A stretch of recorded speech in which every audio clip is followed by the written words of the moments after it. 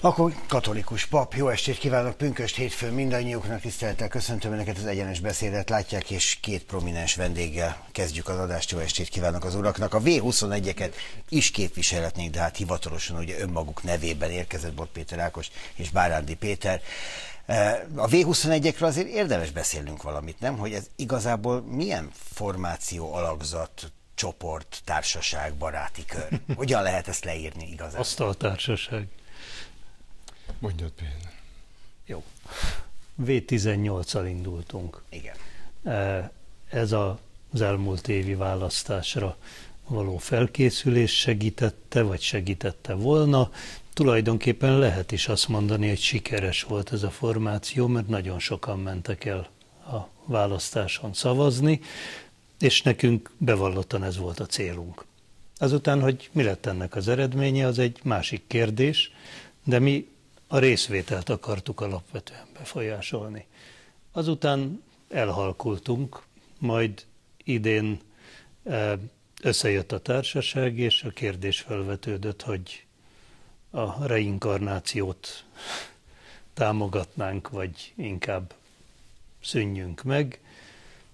Jöttek az európai választások, és egyáltalán hát zajlik az élet tovább ezért átkereszteltük magunkat V21-nek. A századra utal, és ez Igen. már nem nagyon fog elmúlni egy darabig. Ezzel a névvel most Ezzel el lehetünk egy ideig, és, és azt gondoltuk az elején, hogy a néppártból való Fidesz kizárást követően ugye azt mondta a néppárt, hogy ide küld három vizsgálóbiztost, és hogy mi is kiállítunk három vizsgálóbiztost, akkor a kormány már kiállított három ilyen személyt, és úgy gondoltuk, hogy hát ne csak a kormány által összeállított kis bizottsággal tárgyaljanak az ide érkezők, hanem mondjuk olyannal is, aki, hát nem azt mondom, hogy ellenzék, aki nem kormány által küldött. De hát azután nem jött létre ez a találkozás, ennek egyik síkján sem.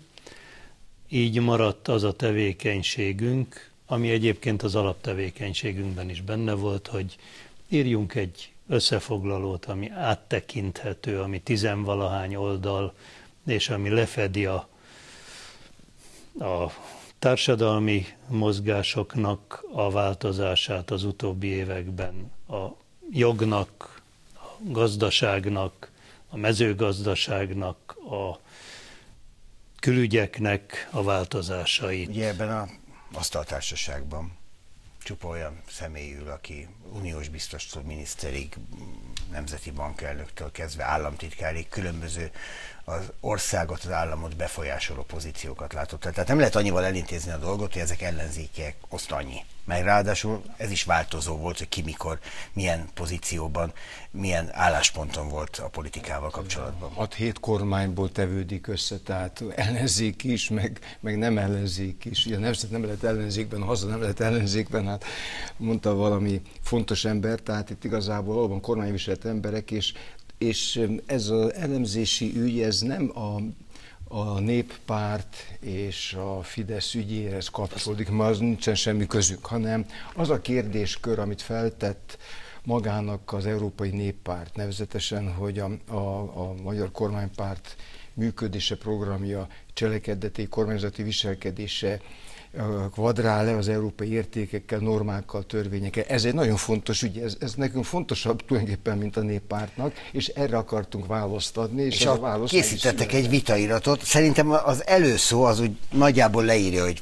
igazából mi a válaszuk, mert hogy abban a bevezetőben azt olvasom, hogy Magyarország ennek a konfliktusnak már, mint hogy az európai irány mi legyen valójában a nemzetek Európája, vagy egyfajta összefogással létrejövő Európai Unió. Szóval ennek a konfliktusnak sokat emlegetett szereplője lett az Orbán kormány Európától egyre távolodó politikája miatt. Ez a félmondat nagyjából azt, hogy a V21-nek mi a véleménye erről a politikáról leírja, ha jól gondolom. Ez így van. Nem európai az a irány, amit Orbán Viktor képvisel?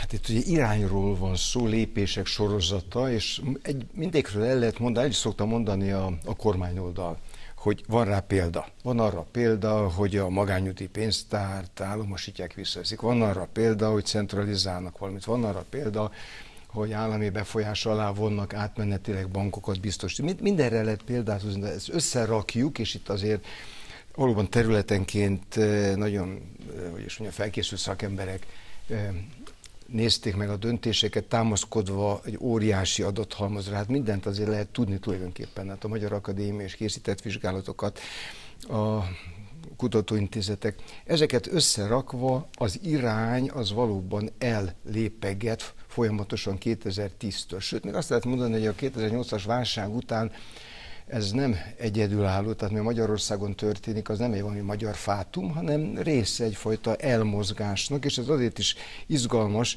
mert közben lezajlott ez a választás, amit nem tudom, hogy ki hogyan értékelt, itt az asztalnál többen értékeltek, de valóban az egyik meggyőző értékelés az, hogy ugyan megerősödtek, én nem ezt a bevándorlást mondanám, mert az egy résztéma, nem is volt fő témája az európai választásnak. Most megerősödtek azok, akik önálló nemzeti megoldást ajánlanak ügyekre. Miközben jól tudjuk, hogy ezek az ügyek nem nemzetiek. Nem oldható klímaváltozás, nem lehet, hogy én határomig rendben van, ott egy kicsit meleg van. Ugye a, magát a, a vándormozgalmakat, hogy nála minden rendben van, de hozzád bemet. Tehát ezeket az ügyeket végignézve az irányt agasztónak találtuk. Ilyen értelemben lehet azt mondani, hogy ellenzi ki. Hát ellenzi azt alapvetően, azt az irányváltást, amit a magyar politikai osztály, annak a vezető rétege 2010 után leírt, úgy, hogy az ország támogatását egészében nem bírja, hiszen ezek a kérdések fel se voltak téve választási kérdésként, és az ország er-, erősen megosztott, legalábbis el lehet mondani ezekben az ügyekben. Hadd kérdezek valamit, ha egy jogtudós is itt ül az asztalnál. Minden héten kapok egy e-mailt arra vonatkozóan, különböző szervezetektől és magánemberektől, hogy az alaptörvény a 2011, és alapvetően érvénytelen. És onnan kellene kiindulni, hogy 2011-ben lényegét tekintve egy pucsot hajtott, egy jogi pucsot hajtott végre az Orbán kormány. Erről mit gondol? Hát egy nagyon plastikus, jó megfogalmazást hallottam tegnap, miszerint alkotmányos forradalom zajlott le a rendszerváltáskor, 89 vége, és alkotmányos ellenforradalom zajlott le a az alaptörvény létrehozatalával. Ez nagyjából lefedi e, ennek az egésznek a hangulatát. De kérdésre, a konkrét kérdésre konkrétan válaszolva azt lehet mondani, hogy vannak formál jogi érvénytelenségei. Okai például olyan, hogy az egyik passzusban kimondja az alaptörvény, hogy az alkotmány az nem létezőnek tekintendő. Már a korábbi. Érvényt, igen. Azután hivatkozik arra, hogy ennek a nem létezőnek nyilvánított alkotmány egy passzus alapján hozza létre az új alaptörvényt. E, de ez egy formális valami, ez nyilván minket jogászokat elszórakoztat, a nem jogász közönséget kevésbé, de hát tartalmilag is ha vizsgáljuk a létrejöttének a körülményeit. Hát ez egy alkotmányt helyettesítő valami. Minden politikai egyeztetés nélkül, minden, ma ezt a szót szeretik, nemzeti egyeztetés nélkül, tehát társadalmi egyeztetés nélkül jön de egy kétharmados felhatalmazásra hivatkozva. Hát igen, de a jogrend a modern felfogás szerint pont azt akadályozza meg, hogy egy ilyen bolsevik hatalom jöhessen létre, hogy egy olyan hatalom jöhessen létre, ami egy kétharmados vagy akármilyen többségi felhatalmazásra hivatkozva elszabadulhat, és azt tehet, ami neki jól esik. Hát erről szól e, az egész jogi intézményrendszer, hogy az egyensúlyt stabilitásban tartsa, hogy ne szabadulhasson el egy pillanatnyilag többséget szerzett, akár alkotmányosan is többséget szerzett hatalom. A nézők emlékeznek, hogy mennyit mondtuk, hogy fékek és ellensúlyok. Hogy leszoktunk erről a kifejezésről? Hogy eljelentéktelenedik. Én használhatom. Persze, csak, csak teljesen eljelentéktelenedett. Igen, mi, mi ezt visszahoztuk ezt ebben a dokumentumban, ami elolvasható a V24 honlapján, és hát valóban a tény az, hogy elgyengültek ezek az intézmények. Előttem van a akkori köztársasági elnök, egy kiváló sportoló hátterű férfiú, aki azt mondta, hogy ő nem akar féke lenni, hanem ő motor akar Másik lenni. alkatrészséget vállalt, igen. Abszurdum, hogy valaki bejelenti, hogy a rábízott feladatot nem akarja ellátni. Tehát hát ez volt a feladat, hogy ne akarja ellátni. fölveszi, de mint köztársasági elnök ezt a, ezt a ellensúly szerepet nem akarja. Tehát azért az a furcsa bejelentés volt, mert a legnagyobb közjogi méltóság mondta ki azt, hogy nincs szükség ellensúlyra. Most az ellensúly, a nézők értsék, az, hogy ami visszafogja az embert a butaságtól, ami elgondolkoztatja. Tehát vannak ilyen ellensúlyok, ha valaki például meg akar nősülni, gondolom, hogy nem berohanni ugye egy, az első intézményhez, hogy itt a Mariska, és akkor kimondjuk, akkor kell gondolkozni rajta, van egy procedúra. Tehát ezt nem szabad el erről. Én nem vagyok jogász, de azt tudom, hogy gondolkozni kell, mérni kell, számolni kell, nem felindulásból. Visszatérve a 2010-es fülke forradalomra, hát a választási kampányban nem volt szó arról, hogy aki nyer, az alkotmányt fog módosítani. Tehát nem erre szavazott a kétharmad. Nagyon egyértelműek a fejezetcímek. Búcsú a demokráciától, jogállam helyett pártállam, uri-muri, közpénzből magánvagyon, cselédsors és hamis külpolitika. Ez, hogyha csak ezeket nézem, és nem látom azt, hogy mi van mögötte, akkor egy végtelenül lesújtó és irgalmatlanul negatív látlelet hát, erre az országról. Rakták oda szerkesztők, hogy azért néz, olvassák el. Hát, persze, de, de pont ezt kérdezem, hogy ezek a címek, ezek lefedik azt, hogy ennyire drámai a helyzet? Azt gondolom, hogy, hogy igen. Beszéljek csak a saját területemről. Ez tényleg egy pártállami jelenséggé vált a magyar társadalmi vezérlés. Hiszen egyetlen egy párt, annak a feje, tehát tulajdonképpen egy személy által vezetett társadalommá váltunk, ahol azok a bizonyos ellensúlyok, amikről itt már beszéltünk, azok teljesen kiüresedtek. Amit Péter mond, a köztársasági elnöki funkció kiüresedett már akkor, azóta is úgy maradt. Hát az nem létezik. Most csak számokat vegyünk, mert azok nehezen cáfolhatóak. Kétszer fordult az alkotmánybírósághoz a jelenlegi köztársasági elnök, aki a, már nem az első ciklusát tölti ebben a pozícióban. Az alkotmánybíróság hatáskörét, hát ez egy understatement, de visszafogta a politikai döntés. Olyanok árasztották el ezt a testületet, akiknek a szakértelme hát itt-ott kétségbe vonható, de a hűsége az sehol. De hát vehetőek azok a, a gazdaságot irányító testületek, a, amelyek e, ott kell, hogy föntartsák az egyensúlyt, ugye számvevőszék, és így tovább, és így tovább. Mindenütt legalább a feje lecserélődött, ahol az elég, ahol nem elég, ott az egész testület. E, tulajdonképpen, és ezt írjuk is, az egyetlen a bírósági szervezet, ami ma még a függetlenség jelentős jegyeit mutatja föl, azért fogalmazok ilyen óvatosan, nem azért, mert jogász vagyok, valószínűleg azért is, de azért, mert a vezérlés már itt is politikai vezérlésé vált. Hát egyetlen egy személy, egy hölgy az, aki tulajdonképpen korlátlan jogokkal rendelkezik a bírói kinevezések, áthelyezések, jutalmazások, státuszkérdések és mindenben van egy testület mellette, amely kezdetben nem vette komolyan a dolgát, majd komolyan vette a dolgát, és elkezdte ellenőrizni ennek az asszonynak a, a viselkedését, különböző jelzéseket küldött, ennek az volt az eredménye, hogy Handó Tünde lehetetlenné tette ennek a testületnek a működését, ettől néhányan lemondtak, ha lemondtak, akkor ő kijelentette, hogy így már működésképtelen. Most itt tart. És a célt elérte. Igen. Gazdaság. Uri Muri, közpénzből magányvagyon, illetve cselédsors kiszolgáltatottak és új földesurak.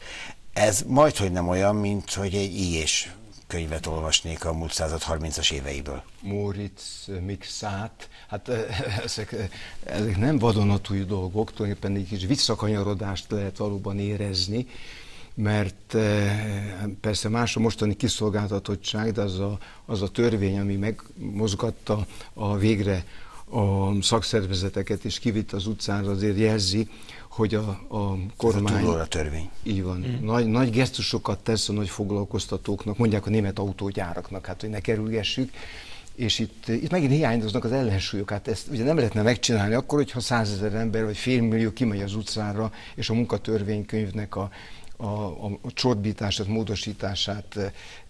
Na de erre meg mondhatja a kormány oldal, hogy na ugye nem mennek ki, akkor mégis rendben van itt minden. Igen. Meg lehet csinálni. Szóval itt azért meg lehet csinálni, a és más a rendben van. kiáltás költői címet kapta ez a, ez a kiáltás, mert úgy érezzük, hogy túl nagy a csend valóban. Ahhoz képest, ami a problémák vannak, túl nagy a csend Magyarországon, és kiállt ez a, ez a 15-20 ember, aki ezt a dolgozatot megírta, és mi ugye szerkesztettük. A gazdaságban olyan nagy sok újat nem tudok mondani az képest, amit már volt alkalmam amit elmondani. Egy szempontot ide szeretnék hozni, mert nem tudom, mennyi időnk van, de nem légüres térben születik egy elemzés, hiszen ilyen elemzéseket talán alaposabbakat, jobbakat mások is írtak és fognak is írni. De az időpont nagyon lényeges, mert Európában zajlik valami és ez a, a britek kilépnek, a, a maradéknak el kell döntenie, hogy jobban szervesül, vagy pedig esetleg megszabadul másoktól is. Tehát a, a, a, ugye ez egy nagyon furcsa időszak, és nekünk meg kell mutatnunk sokfélét. Egyik az, hogy kormányviselet embereknek van álláspontjuk arról, ami az irány. És itt talán még egymás között is nagy vitáink vannak, mert van, aki keményebben fogalmaz, van, aki egy kicsit megértőbb, a célokat elfogadja, az eszközöket nem, van, aki az eszközöket is kifogásolja, a célokat is kifogásolja, valószínűleg mi se lennénk mindenben egyforma állásponton de azt is meg kell mutatni az országon kifele is, hogy van egy másik Magyarország is. Tehát vigyázzat, itt nem egy ember, egy párt, amit éppen a, a szavazati jogát felfüggesztette az európai pártcsoport. Nem ez van. Ők vannak a kormányon kétségtelen, és, és hát ezt az ember tudja, elfogadja. De van egy másik Magyarország, és ez a másik Magyarország szeretne európai lenni. És ez azért fontos, mert lehet olyan történelmi pillanat, amikor számít az, hogy ezek a bajkeverő kis kelet-európai országok esetleg lemaradnak egy fordulóról, és az óriási baj lenne a nézőknek, a nézők gyerekeinek és unokáinak, ha Magyarország kisodródna egy kanyarba valamiből. És ezért is gondolom, hogy hát persze nem, mi nem változtatjuk meg a világot, de a magunk módján hozzá akartunk járulni az a vitához. Ezt is vitára bocsátottuk ezt az anyagot. A fogalmazás kemény, provokált, persze. Hát az volt a címe. Ha rakok egy akadémiai címet, akkor ásítanak egyet, tovább lapoznak így, azt mondom, úri muri, akkor azért megérti, hogy a magyar kormánynak nagyon sok mindenre van pénz, amit fontosnak talál. Ha teniszbajnokság, akkor van 20 milliárdja. Olvastam a mai újságban. Hogyha egy gyorsvonatot akar építeni a kínaiak eh, javára, és fölveszi a hiteleket, amit már vissza kell fizetnünk, arra is lesz pénze az országnak. Ez úri-muri. Jó, de itt van a cserécsors, az meg, az meg tényleg a puszták népe. Tehát eljutunk oda, hát. vagy vagyunk ott, hogy ez lehet bármelyik politikai ö, aktornak a, a célja, hogy, hogy ilyen cselédsorsba lökjél embereket Magyarországon? Én azt gondolom, hogy itt egy jó címet sikerült megtalálnunk. Igen. Igen, hiszen, hiszen akkor, hogyha mindent központosítani akarok, mindent egy kézben akarok tartani, egy ember két kezében akarom mondjuk meg az igazságot tartani, akkor minden centralizálni akarok, és minden, eddig ugye ilyen intézményesített fékekről beszéltünk, és ellensúlyokról. De hát ezek az intézményesített fékek és ellensúlyok, ezek ráépülnek a társadalmi eh, önálló jelenségekre csoportokra, civil szervezetekre, szakszervezetekre és egyebekre. Olyan dolgokra, amelyek a társadalom tartását adják a hatalommal szemben. Ha ezeket eltöröljük, ha ezeknek a működését lehetetlenné tesszük, és most fölösleges felsorolnom, hiszen a nézők tudják, hogy mi van az alapítványokkal, mi van a szakszervezeti jogok korlátozásával, mi van a sztrájk jogok korlátozásával, tudományos és így tovább, és tudományos akadémiával. Tehát egy ilyen egykézbe helyezett hatalomnak az az érdeke, hogy a társadalomnak önálló tartása ne legyen, hogy ezeket leépítse, hogy cseléddé tegye az állampolgárt. A v Úgyhogy ez nagyon jól kifejezi azt, amit mi ki akartunk fejezni. Olvassák el, V21 oldalán megtalálják. Önöknek pedig köszönöm a beszélgetést. Köszönjük, köszönjük szépen.